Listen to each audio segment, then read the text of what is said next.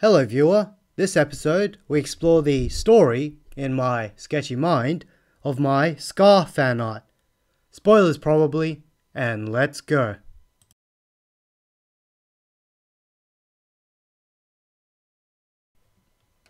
Suffering from a civil war would make anyone cross. There was one particular alchemist where Scar wanted to make Kim bleed. Thanks to his deceased brother, Scar was now armed with alchemic powers, which he initially used for not so nice purposes.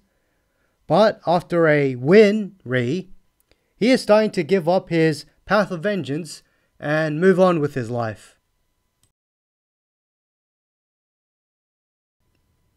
Sketchy thinks in transition time. Da-dum My unique flair was getting Scar to pray his respects. I also wanted to spark hope for a brighter future, especially for those who've suffered like Scar. So, Scar is a surviving Ishvalan and is striving to rebuild his country. Ishval for a bright future. Overall, pretty good.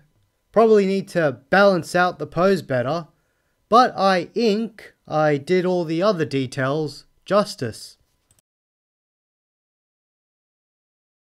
Okay, that's all for today.